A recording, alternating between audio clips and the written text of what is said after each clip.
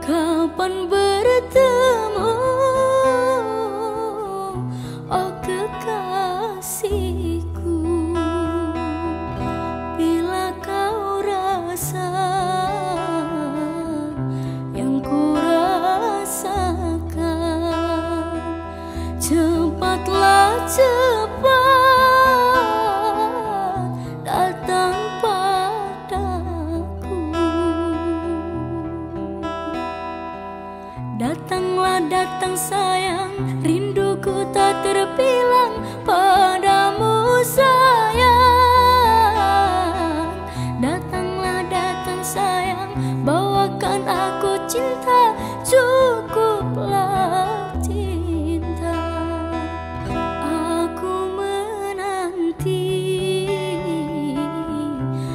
Kabar